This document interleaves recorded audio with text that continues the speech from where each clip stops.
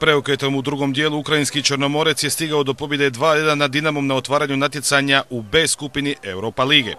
Čudna utakmica, čudnija ne može biti. Modri su sjajno otvorili utakmicu, vodili nakon prvog dijela 1-0 i onda samo u desetak minuta blackouta u glavama igrača između 55. i 65. minute sve što je bilo dobro prosuli su igrači Branka Ivankovića. Ukrajinci su preokretom dakle 2-1 slomili Dinamo koji se usprkos pokušajima do kraja utakmice nije uspio vratiti i učiniti start Europa lige svojim navijačima ugodnim Šteta, uvijek, uvijek nešto primimo, neke, neke golove jeftine, moramo to dobro analizirati, dobro, dobro da vidimo gdje, odakle dolazi greške i da to popravim što prije.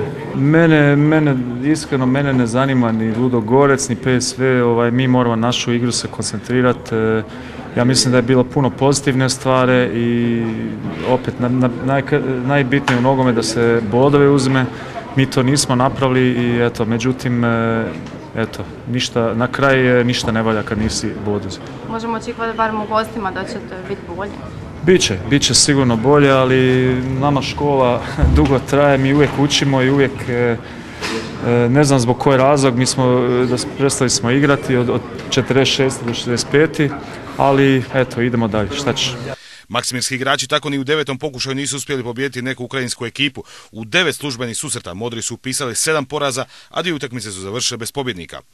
U drugom susretu ove skupine, kažemo i to PSV kod kuće izgubio od Ludogoreca, upravo sljedećeg Dinamovog protivnika u skupini. Teški dani su pred profesorom Ivankovićem i ekipom.